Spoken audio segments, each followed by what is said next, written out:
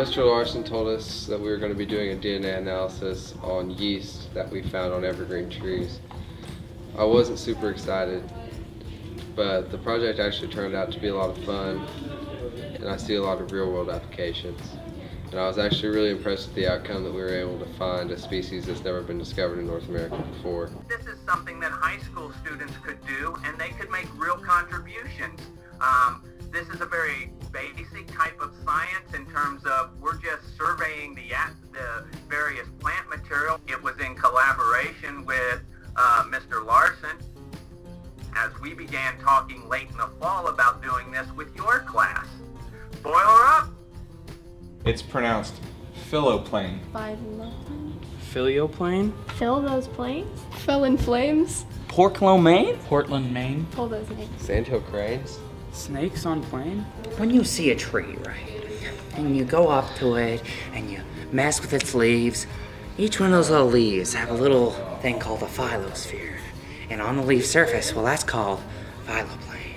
Basically, what phylloplane is, it's just a leaf surface where all the little microorganisms have their fun and party and live.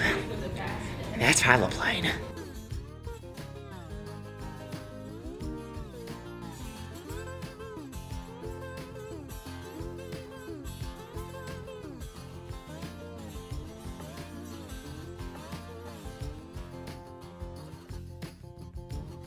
From its initial plate, yeast was isolated into pure cultures in their own petri plates.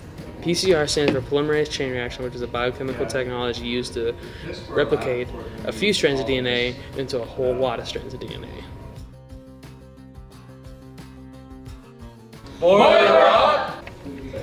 Our results from BLAST showed that we found a species Sporobolomyces elongatus, a type of yeast commonly not found in North America. As soon as I sent the results off to Dr. Aim as to what it was that you found, she replied very quickly to say that, hey, this is something of, of extreme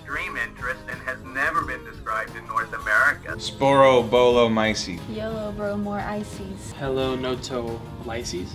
Oh no, big snow crises? Yojo got your license? That schmo has some vices? Let's go roll some dices. Cat knives that slices. And if that entices. Cats that kill mices? You know where the rice is. It was an insightful, interesting, and great project. Mostly because we didn't have a pre-packaged, pre-planned outcome. Overall, I feel that this project both introduced new content in a unique way and enforced the learning of said content through memorable experiences. John Cavaletto was a really exciting community partner as he guided us through the PCR process. The Filioplane Yeast Project was one of the most engaging and realistic we've done all year.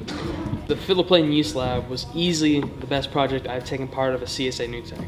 After all, it's not every day you find Australian yeast in Columbus. I intend to continue to expand this, to take it to other high schools in the future, with the goal being we will begin to build a, a, a picture of the different types of yeast that are found here in Indiana.